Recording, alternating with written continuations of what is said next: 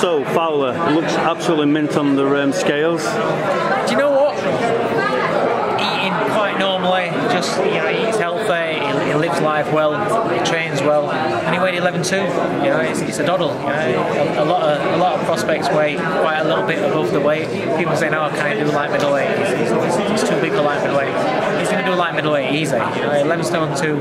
He had some breakfast this morning. He ate normal yesterday. Uh, light middles ain't a problem because he lives right. He doesn't balloon up in weight. We ain't got to train for first four weeks trying to trying to shift weight. You know, it's all about improvement, and he's, he's getting better, and, I, and I'm enjoying training. Seems like he's got a good following. Um, when he got onto the scales, everybody will.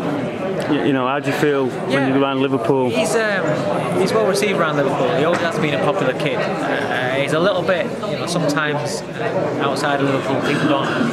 Unless you know him, you meet him, then you realise what a nice kid he is.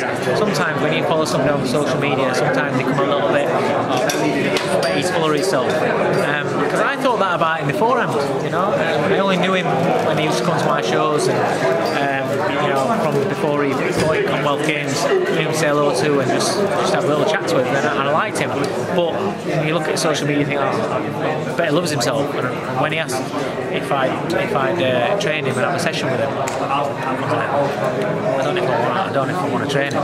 It's going to be, be a headache. It's completely different to that. You know, behind closed doors, he gets that he's a novice. He gets he's got a lot to learn in this business, and, and he does everything that you ask of him. You know, he's, he's, I would say that he's he's a fantastic role model for kids that are coming through because he might not be the most gifted of athletes and, and naturally fluid boxers, skillful, and you know you've got your you've got your Olympians like your Cordinas and people like that that are more skillful and more natural as a boxer. There's nobody, there's nobody in boxing that works harder than him. You know, he- he's he's like um, in the gym, he's like another Tony Bellew, where again, so many doubters, so many people saying he's never going to make it. He's you know, domestic level, this, this, this. He, through hard work, he made it, and Fowler's like that. Fowler's a little bit more a little bit more dedicated in the way that he, he, he doesn't let himself go out of shape. He's always he's always in shape. Whether that's through being vain or whatever, I don't care. The fact is that I don't have to worry about Fowler's weight, you know, and getting into shape. He's always in shape. I've heard you just mention Bellew. It's on. Oh, there's been a little bit of announcement today. It's on. Yeah, yeah, um, yeah. It's um, it's finally sorted, and um, fun and games can commence now. How did you feel on the first one? I mean, he did it all this and that, and for him to just kind of win, it's amazing. He must have felt amazing. Yeah, it was pretty good. Um, Yeah. I won't lie, I won't sit here and say, oh, you know, it's just another fight. Um, because of the way that it was, you know, the build-up was, uh, it, did, it did feel rather nice. Uh, it was different. It was it was a different sort of emotion because they were both emotional nights. Makabu and Haye.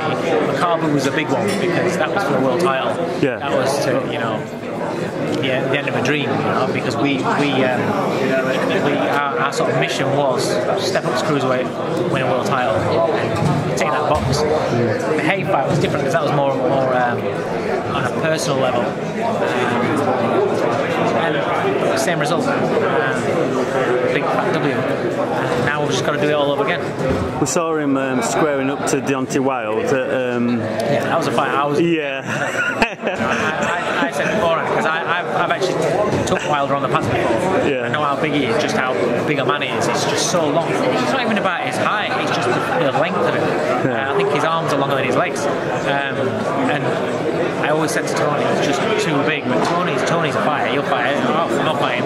And then the day that they worked together on, Sky- I don't know if it was Kel Brooksville or Bramall Lane. They worked together at Sky, and they met face to face. And, and Deontay gave Tony a hug. Tony after oh, he's big. He is big. yeah. but he admitted it. He's big enough to admit it. Yeah. Yeah. He, he, he was he's just way too big. There are there are heavyweights out there that Tony can fight and Tony can beat because they're not giants. And then you've got your giants like your Wilders, like your Furies, like your AJs, you know, and they're just it's just ridiculous. You know? So Does that include both Furies?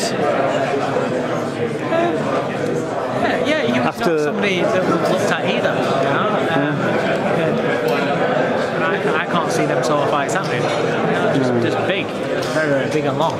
I don't think there's any fight which is going to be bigger than fighting um, David Haye. It needs to happen because Yeah, because you've got you've got a, a section of people Yeah. that think that we fluked it and, and we got lucky, and then you've got the people that realise, well, that's actually what they said was going to happen before the fight. Everything that happened, you know, we're never concerned about early rounds, winning early rounds. We're never concerned about that. Um, so kind of like there's two schools of thought. We're going to find out which one was right. Brilliant. Okay, well, we'll leave it at that, and um, thank you very much. Nice. Cheers, mate.